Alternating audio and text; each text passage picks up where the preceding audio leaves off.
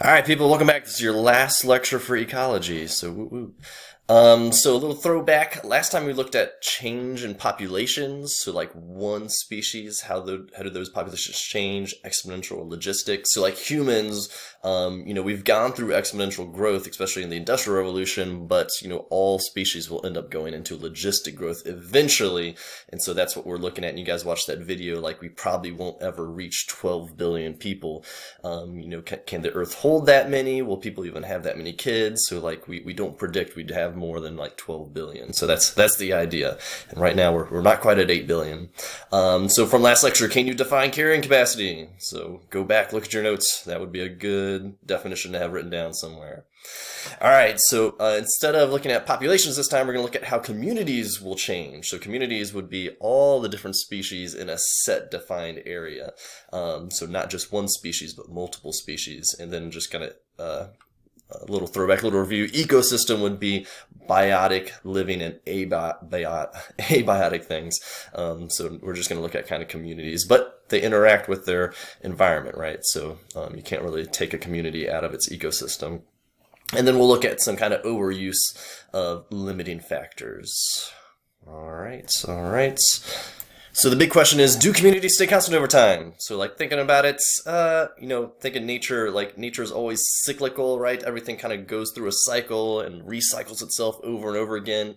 You know, our environments have never stayed constant, but they've stayed like pretty constant. So communities do change over time, but they also will reach kind of like a peak state, right? Like a set area. So if we look at like Minnesota, we're kind of divided up in kind of a quote unquote set kind of boundaries where, you know, um, the northern areas, you got the coniferous forest, we've got deciduous, we've got prairie glass, uh, grassland, and then another type of grassland, the tall grass aspen. Um, those would be the kind of ecosystems, the communities you would expect in these areas based off like the soil, the rainfall, the temperature, you've got all these factors. Um, but they weren't always like this, right? And, you know, humans come in and other things happen, like fires, you know, lightning storms, wind will come down and, like, knock trees down. And so these will all have to, like, regrow and kind of reset. So we have all this kind of constant motion, constant recycling in these areas. In Virginia, like, our um, community that's kind of like mature community is like a bunch of like hardwood trees. Um, so we might start off with like maple and pines with the softwood, um, but eventually most of the forest there are like hardwood, um, which is a little different than maybe um, coniferous forests. These would be more softwood. Here you guys have some uh, hardwood trees down here. Um, so what we call this term, your, your kind of max, um, your, your top mature community is a climax community. It's like the steady state when you've reached the end of ecological succession. So we're going to get into this term succession coming up. Um, and it's usually only disrupted by like outside things. So like it could just be natural stuff like fires that I mentioned, tornadoes. Um, but you know, mostly it's been happening with like humans, right? We, we keep doing these things to areas. So an oak forest in Virginia, you know, the boreal forest up north, or like a saguaro cacti desert in Arizona. Like each each different area, each different ecosystem would have its own kind of different, unique climax community. So like what it would grow to and then kind of like stay at, kind of plateau at. Um, so here's the kind of cool Sonoran Desert. We usually do like a, a little activity with the Sonoran Desert because it's so awesome, but um, Another time, another time. So what's really cool, especially for like creatures and all of us living around in these areas, is that as succession occurs, so succession would be like the gradual change in a community over time. So if you start off with just grass, kind of what would grow afterwards, and then this is the climax community here for like a hardwood uh, forest, um, is different species will live in different um, stages in, in, the same habitat, right? So you have different types of birds and animals that live and, and bed down in like grass and like tall grass versus shrubs and seedlings versus, right, the younger trees versus pine uh, and maple, um, and then versus like the hardwood. Um, so biodiversity is great because it gets us, you know, a vast diversity of life. It, it, it kind of promotes, it's like an indicator of a healthy ecosystem if you have lots of different species that can live there. Um, and then we as humans or other organisms can kind of take advantage of like the different benefits of kind of each stage, right, um, of of uh, succession here. So moving on here. Um, what's unique is, uh, unfortunately or fortunately, you know, we, we don't have many like wildfires anymore, right? So um, what has happened is communities tend to get to their climax community and then stay there. Well, what about like the, the organisms that need these kind of in-between places, right? If, if those, if this habitat is going down because we're maybe not, you know, we're protecting maybe more wild, uh, um, you know, stands of trees, um, some creatures are getting endangered. So like the Kirtland warbler is a big example. These, um, you know, it's it's breeding ground up here. You know, a lot of people live up here, so we don't really necessarily want these trees and stuff to burn down. Um, and so they're numbers are going way down because they're not being able to nest and breed. Um, so what do we do to help out is we've, we've tried to keep nature as, you know, natural as possible. So we'll do like control burns and stuff like that. So it disrupts the climax community, kind of resets everything, starts up the new growth. And then not only like the Kirtland warblers, but there's lots of other species that will take advantage of um, the new growth in that new area. So this is actually beneficial for lots of creatures, but birds, since they look so like pretty and beautiful, um, they're, they're kind of like the, the, the face of, um, conservation efforts. So pretty cool, right? So we mentioned succession. There's two major types. There's what is called primary succession and secondary succession. Primary, the kind of big difference is, all right, you're starting off on like just blank brand new, a clean slate, a newly formed area. So like from a lava flow, from glaciers retreating, um, think about Hawaii when it popped up out of the ocean. So the first species that would have started living there, we call those a pioneer species, like kind of the, you know, uh, Great West, the Oregon Trail, right? The pioneers going out there. Secondary succession is what we see kind of more often now, um, especially with like humans um, disturbing environments. Um, this would be growth in existing communities that were only like kind of partially uh, destroyed. So like from a, a a fire only destroys like part of a forest, well, there's still forest living all the way around it, right? Um, so these can actually replace themselves. Secondary su succession will actually occur a little bit faster because you have like the trees, maybe the hardwood trees around that can seed in the new area.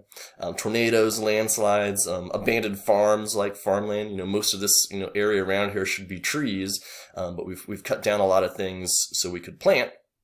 But if you abandon those farms, the trees are going to move back in and it's going to go through succession. So here's our abandoned farmland here, right? Um, as the trees come back in and you go from pine back to like a hardwood forest. Um, so this is secondary. Primary succession is like bare rock. So that's the big difference. Is it primary or secondary? Do you have other uh, uh, plants still hanging out around here? All right, so I've mentioned human impacts, and we, we talked about this stuff at the very beginning of the year, um, kind of with climate change, but we're going to talk about, you know, in the ecology unit, there's kind of room to talk about it a little bit more. Um, a big example of like human impacts on the environment and communities would be Easter Island. So it's this tiny little island way out here. Um, when uh, um, explorers first got there, they basically saw these giants, um, they're called moai, giant statues.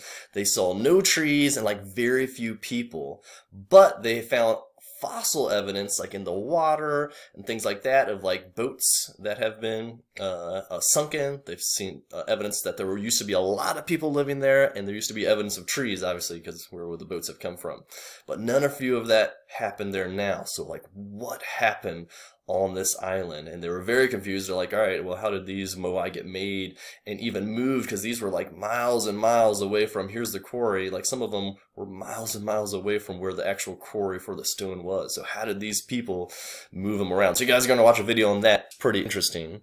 So once you watch it you will see um, that this is what we kind of guesstimate the population would have been. So notice here's that exponential J-shaped growth but they like grew too high. They like kind of overshot um, their growth. So like, where do you think their carrying capacity maybe should have been? It probably should have been maybe around like 5,000, 6,000. That would have been sustainable, but they grew too much too fast. And then that caused their population to plummet because what they did is they cut down too many trees, um, not only for like boats and fishing, but you'll notice um, because of uh, kind of the moai, it was the idea was to um, build these moai to like honor ancestors, but then the chiefs started doing it to like kind of honor themselves, and it kind of got yeah a little a little funky that way. So um, that that basically collapsed their their island because it's an island, right? So, you know, with no being able to not uh, grow trees very quickly, they wouldn't be able to build boats very fast, so they won't be able to fish as much as they used to, and they just couldn't support the size. Um, this size of a population, so now it's kind of gone back up some. So maybe um, they, they've greatly reduced their carrying capacity there.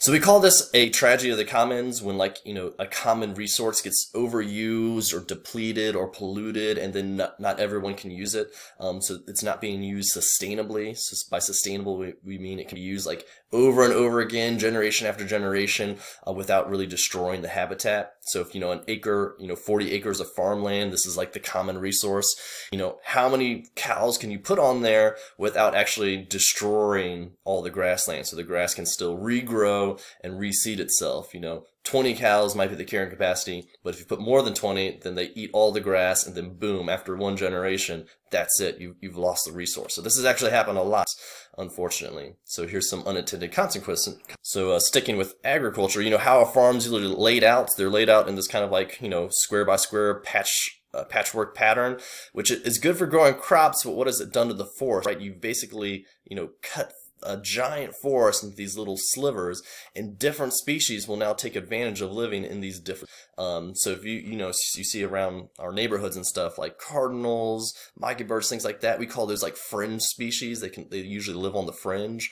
Well now instead of having species of birds that and animals like deer and coyotes and stuff that like the interior of the forest, there is no interior anymore, right? Now these areas are like too small and like everything is fringe. So we call that habitat fragmentation. Um, and this kind of idea of not having enough forest land is kind of what led to the Dust Bowl as well. They didn't plant the right crops. There wasn't cover crops that got down on, you know, wind would just blow in. There wasn't any windbreakers. And that is what caused the Dust Bowl. So habitat fragmentation.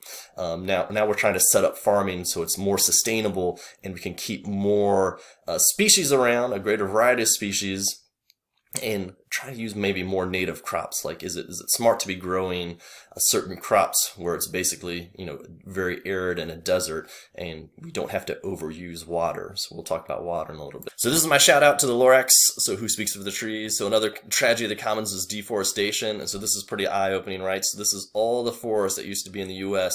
Kind of right when the colonists, 100 years or so, come out. So imagine, you know, being the native indigenous tribes and seeing your entire land your entire ecosystems basically right before your eyes, right? So this is, and you can kind of see the height of the industrial revolution. Look at, we've lost about like 90% of our forest land, which is crazy, right? Uh, and that takes a long time to grow back. So old growth is considered non-renewable just because it takes forever. And now we don't have even the space to, to do it as more, right? Because there's people living all over these places or farmland or whatnot. There's a lot going on. So we did forests. here's oceans, who's in control of the oceans? Ocean has been a huge problem. With better technology, we've been able to like catch more fish and more fish at once. Um, so up here, especially like kind of north uh, east. Um, these are all like kind of breeding grounds for fish. Um, and Atlantic cod used to be like a fish we would catch all the time. It'd be in the stores all the time. You can kind of see maybe we, looks like we were doing pretty sustainable here. Um, maybe not though because the population dropped. But then the our, our, amount of catch went up because we got you know SONAR fish radar basically where you can find all these fish. So in a few decades, right, these people were basically the fishing industry was making like twice as much money. But then what happened? They fished all the fish out and so this population shrank. So not only what is the carrying capacity for an environment you know what's what's like a sustainable amount of fish we should be catching all the time. And so basically this whole atlantic cod industry just collapsed on itself and now even years we're, we're struggling to get the cod back up to its normal levels before we outfished them and we mentioned this if I go back real quick, um, like the size of fish has actually shrunk based on like the size of our netting and stuff like that. So like the years of fishing we've done, we've actually fished out a lot of the larger fishes in the ocean, and now they've kind of gotten to be smaller, kind of like a artificial type of selection. Uh, I think I showed you guys this video um, at the beginning of the year. It's about those plastic oceans, but if not, feel free to check this out. It's optional, you know, so tragedy of the commons, overfishing, pollution, uh, and then the big idea of like short-term thinking. Yeah, it was great for profits, great for the industry, you know, everyone made a lot of money, but in the long term, it actually hurt tons of people. And you can kind of see this. We still think short-term versus long-term with a lot of decisions we're doing nowadays, especially like with climate change, um, with the EPA, right? We polluted this river, the Cuyahoga in Ohio, so bad that it lit on fire. Um, so uh, in 1969. So guess what? The Clean Air Act and Clean Water Act came out the next year. But you know, businesses basically try and you know make as much money as they can quickly, and it's pretty much to the detriment in the long term to the businesses themselves. Not only the environment, but to the businesses themselves. Um, you'll watch this video on the Colorado River, how that's going down. So I'll just leave you with this kind of uh, uh, aquifer, this overuse of groundwater. Notice this is the ground level in 1925. Um, this is the ground level in 1977. So check this out.